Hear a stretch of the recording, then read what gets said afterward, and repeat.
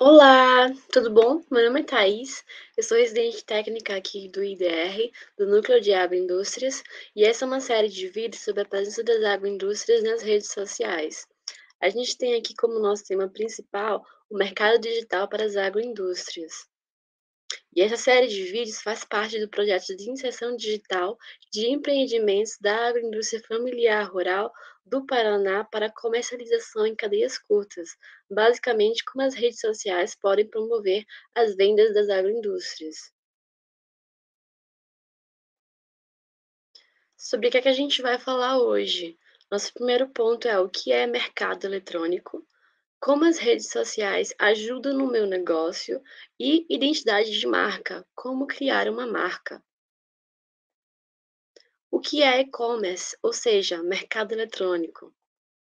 O e-commerce quer dizer comércio eletrônico na tradução do inglês, e é um modelo de negócios que engloba vendas de produtos e serviços que acontecem por meio de canais digitais. Ou seja, basicamente é uma loja virtual e você provavelmente talvez já tenha adquirido alguma coisa dessas lojas virtuais. A gente tem como exemplo aqui de lojas virtuais muito famosas a Amazon, a Americanas, a Magazine Luiza e a Shopee. E também páginas no Facebook ou no Instagram que fazem vendas, que também podem ser consideradas e-commerce, ou seja, lojas virtuais. Como as redes sociais ajudam no meu negócio? Antigamente, a publicidade de produtos antes das redes sociais era feita em outdoors, revistas, jornais, rádios, propagandas e, e elas necessitavam de um alto custo.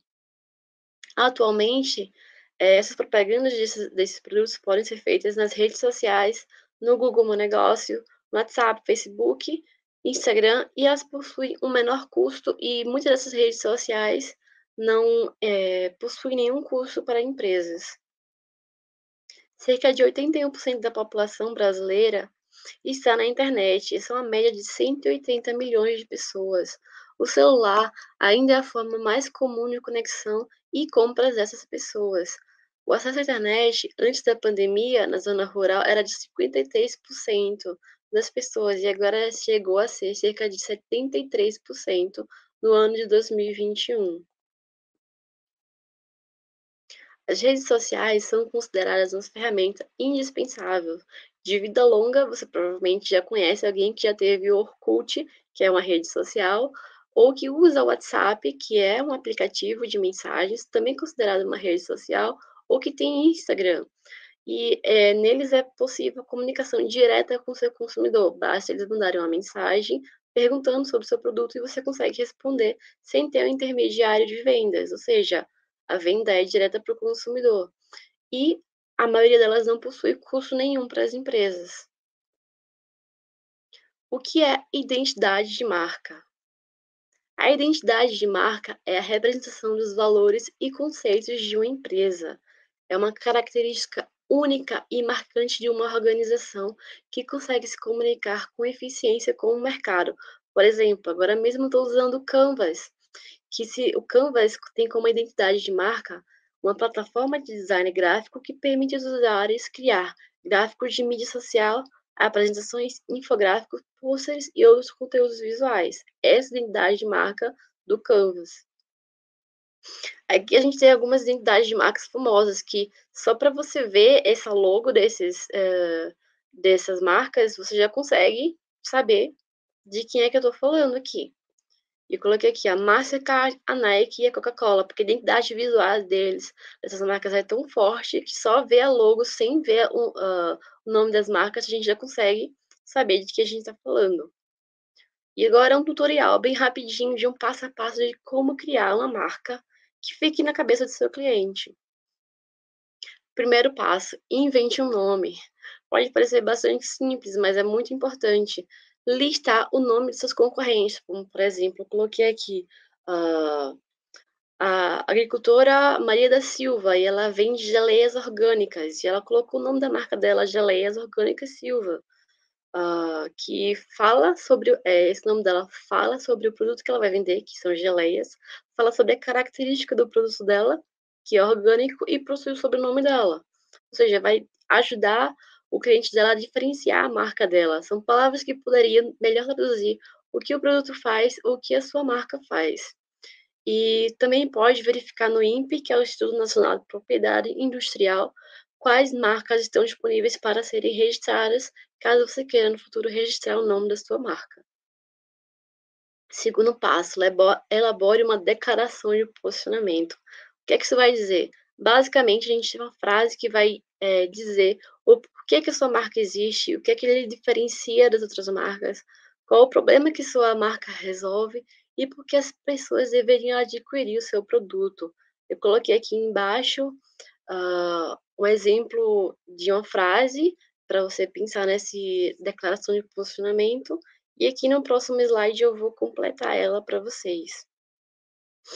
Aqui, por exemplo, falando das nossas geleias orgânicas ainda, que foi nosso primeiro exemplo, para nosso público-alvo, famílias que estão insatisfeitas com produtos artificiais, que vai ser a dor que o nosso, que o nosso produto vai resolver, que, que são os produtos artificiais.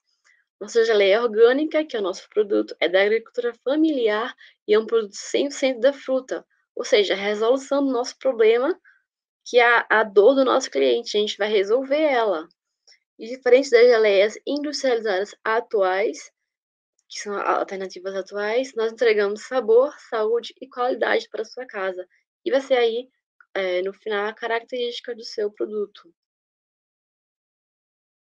Terceiro passo, descreva a promessa da sua marca. Qual o seu diferencial? Basicamente, vai ser uma frase curta que vai ser de fácil memorização e que vai descrever o seu produto.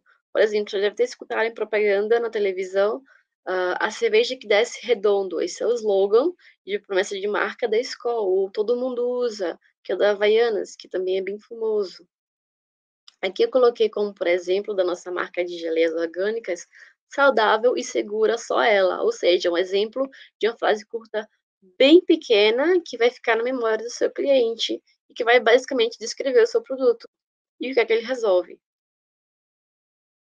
Passo 4. Defina a personalidade da sua marca.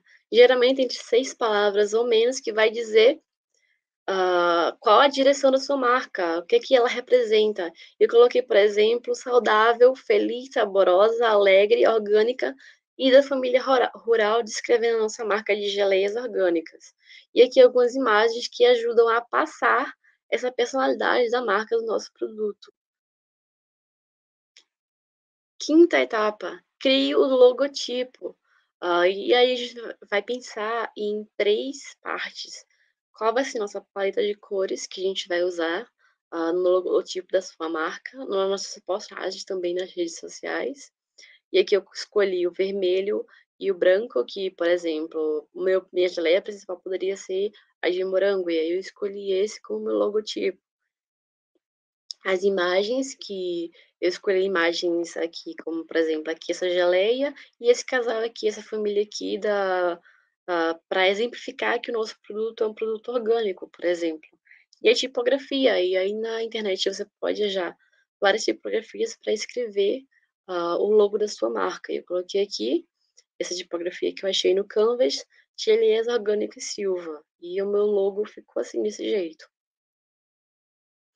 E aqui a gente tem mais ou menos como é que ficou tudo da nossa marca, nosso nome, Geleias Orgânica Silva, nossa logomarca aqui, como ficou o nosso produto, nossa promessa, que ela é saudável e segura, só ela, características, sabor, saúde e qualidade para sua casa e a personalidade do nosso produto é saudável, feliz, saborosa. E nossos consumidores, quem são? São famílias que valorizam a saúde, produtos orgânicos que são de origem familiar.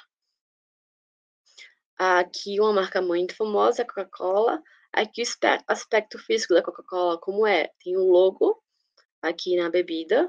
As características dela são socialização e compartilhamento. Sempre a gente que vê uma propaganda da Coca-Cola, tem sempre vários jovens, eles estão lá compartilhando a bebida, todo mundo muito feliz. E essa é a imagem de personalidade que eles querem passar para os seus consumidores. Que a Coca-Cola é feliz, alegre, refrescante e preza os bons momentos e o ato de compartilhar. E os consumidores nas suas propagandas, ou seja, que eles queriam mostrar ao público quem é que eles querem vender, são entre 15 e 18 anos, que valorizam diversão, amizades e esportes. A sua marca deve refletir em tudo que seu cliente pode ver, ler e ouvir.